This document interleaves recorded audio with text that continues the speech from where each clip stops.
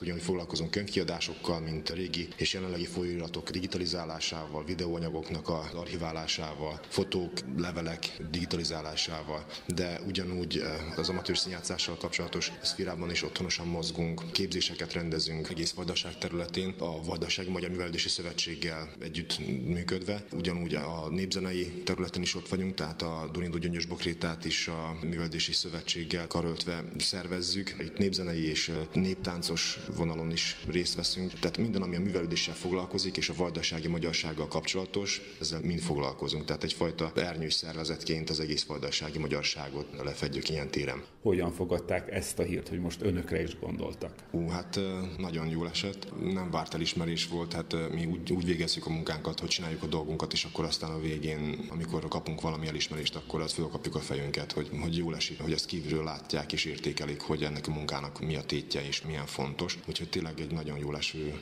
érzéssel fogadtuk az elismerést, nagyon jó esett tényleg.